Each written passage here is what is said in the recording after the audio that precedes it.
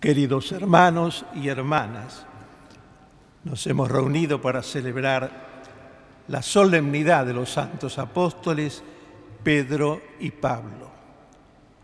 Esta celebración pone de relieve la misión de maestro y de pastor conferida a San Pedro por Jesús, constituyéndola así en su persona y en sus sucesores en el principio y fundamento visible de la unidad de la Iglesia. Entre todos los apóstoles, Pedro recibirá una misión especial, el cuidado pastoral de toda la Iglesia extendida por el mundo.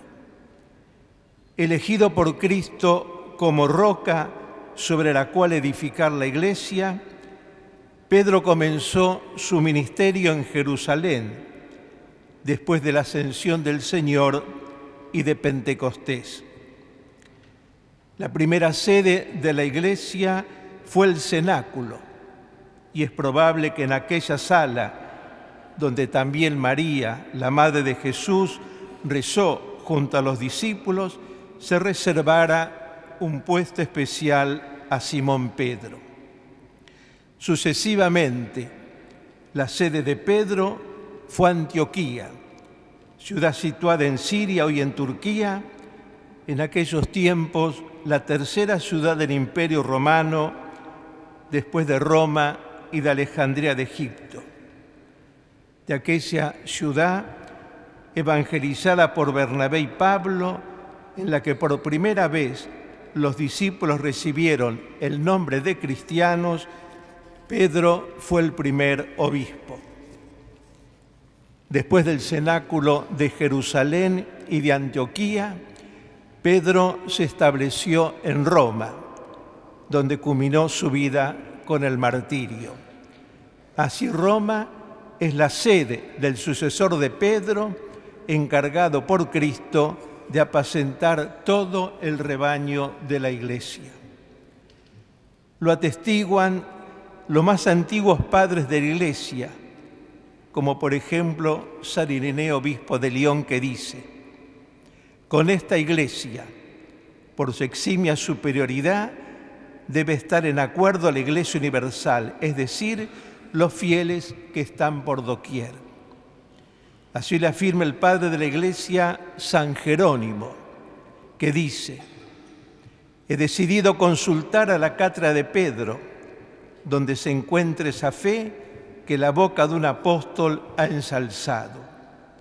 Vengo ahora a pedir alimento para mi alma allí donde recibí el vestido de Cristo. No sigo otro primado sino el de Cristo. Por esto me pongo en comunión con tu beatitud, es decir, con la cátedra de Pedro. Sé que sobre esta piedra está edificada la iglesia veamos algunos rasgos de Pedro a través de los símbolos que nos presenta el Evangelio. El nombre de Pedro es el mismo Jesucristo quien dio este nombre a Simón, hijo de Juan, que era su nombre de pila. Le dijo Jesús, y yo te digo que tú eres Pedro, y sobre esta piedra edificaré mi iglesia.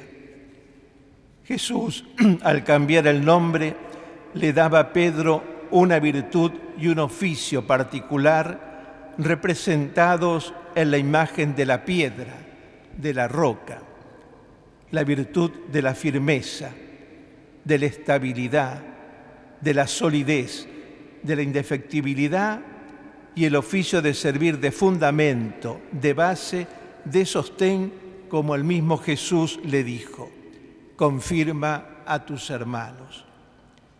Pedro era un hombre débil. Basta recordar la escena de las, negaciones durante la pasión del Señor. Sin embargo, a este hombre débil, Jesús lo llama con el nombre de roca y lo pone como piedra sobre la cual Él quiere edificar su iglesia es clara la intención de Jesús.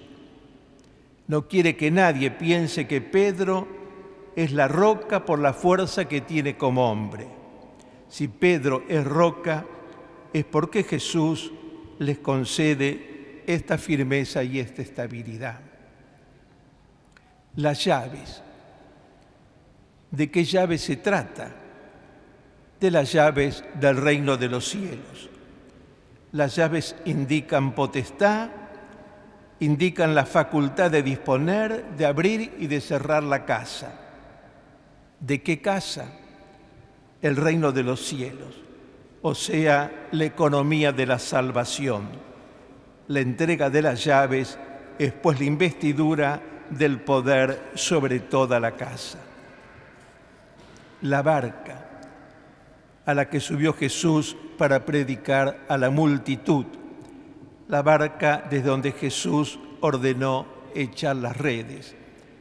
Aquella barca sobre la cual Jesús sentado en la pompa se duerme y cuando viene la tormenta, los discípulos llenos de temor lo despiertan y Jesús de pie mandó al viento y al mar y sobrevino la calma. Pastor es el título propio de Jesús yo soy el buen pastor, los dijo. Después de resucitado, después de la triple profesión de amor que hace Pedro, lo acabamos de escuchar en el Evangelio, Jesús le confía la misión de ser el pastor del rebaño de Cristo en su iglesia. Apacienta a mis ovejas, le dice Jesús a Pedro por tres veces. Hoy Pedro se llama Francisco.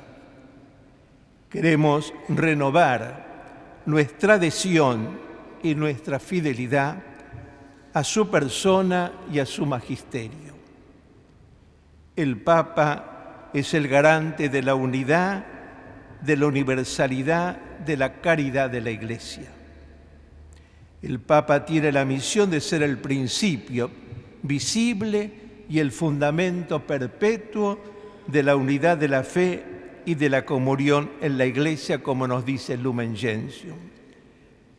Quiero agradecer al Papa Francisco su fecundo magisterio, especialmente por su exhortación apostólica Evangelii Gaudium, así como también por la feliz iniciativa del año jubilar dedicado a la misericordia.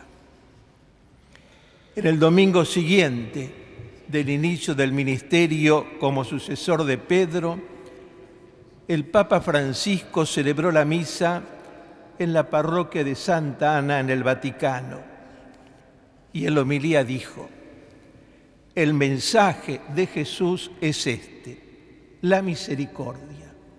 Y agregó, para mí lo digo con humildad, es el mensaje más fuerte del Señor, la misericordia. La misericordia ocupa un lugar privilegiado en su ministerio apostólico. La misericordia inspira toda su actividad. Recientemente el Papa publicó la encíclica Laudato Si sobre el cuidado de la casa común, dirigida no solo a los católicos, sino a todos los hombres y mujeres de buena voluntad. La encíclica toma su nombre de la invocación de San Francisco Laudato Si, alabados sea mi Señor, que en el cántico de las criaturas recuerda que la tierra, nuestra casa común, es también como una hermana con que compartimos la existencia y una madre bella que nos acoge en sus brazos. En esta encíclica, el Santo Padre nos exhorta a todos a realizar un examen de conciencia que considere no solo cómo vivimos nuestra relación con Dios, con los hermanos y con nosotros mismos, sino también cómo vivimos nuestra relación con las criaturas y con la naturaleza en este día. Les transmitimos al Papa Francisco el cariño y el saludo afectuoso de nuestros sacerdotes, diáconos, seminaristas, consagrados, consagradas y fieles laicos. A la vez le expresamos el afecto y la devoción que nuestro pueblo tiene por el Papa. Queridos hermanos, en el ábside de la Basílica de San Pedro se encuentra el monumento a la Cátedra del Apóstol, obra de Bernini, realizada en forma de gran trono de bronce sostenido por las estatuas de cuatro doctores de la Iglesia, dos de Occidente, San Agustín y San Ambrosio, y dos de Oriente, San Juan Crisóstomo y San Atanasio. Los invito a detenerse ante esta obra y orar por el Santo Padre, como Él siempre nos pide, y por el ministerio que el Señor le ha confiado encomendamos a la Virgen de Luján, nuestra Madre y Patrona, para que lo acompañe y asista en su pontificado. Ponemos en las manos de la Virgen sus intenciones y nuestros anhelos. Que así sea.